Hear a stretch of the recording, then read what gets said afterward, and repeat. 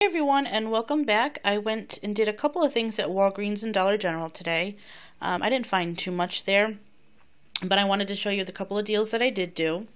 Um, the first, I got this Suave. It does say body wash on it, but it also says for hair and body. Okay. So the deal with that is Suave hair and body was BOGO 50%. Okay, so the first one was $2, the second one was a dollar, making my total $3.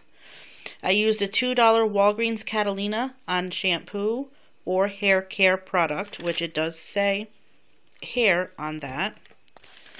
And then I also used a $1 off of two manufacturer's coupons, so I did buy two of them. So the, my total for two would be $3 minus the $3 in coupons is making them completely free. The next is the Vaprino. I think that's what you call it. A&D. It's by Zantac. Um, anti-diarrhea, A through D, 12 caplets. They're on sale for $5, and then when you spend $5, you're going to get back a $5 register reward. So it's essentially free. I just rolled my um, points into rewards, and then I'm going to roll my rewards back into points, vice versa. Dollar General, I already put them away, but I got an 8 pack of sparkle paper towels on clearance, 50% off, for $3.75. I used a $1 off of one manufacturer's coupon that we got today. I paid $2.75 for 8 rolls or 34 cents per roll.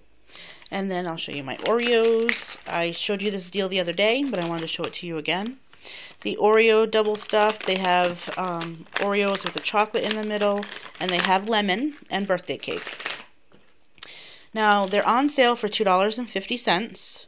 Okay, so I got two packages, which was $5 on the um, on the end cap on the signage it says save one dollar instantly when you buy two. So the manager has to modify it because it doesn't ring up that way. And then I used one $2 off of two tear pad from Family Dollar. It was right next to the Oreos. So my total was $2 for two packages of Oreos or $1 each. All right, everyone, if you have any questions or comments, please leave them below. Please like, please subscribe, and I'll see you all in the next video. Thanks. Bye-bye.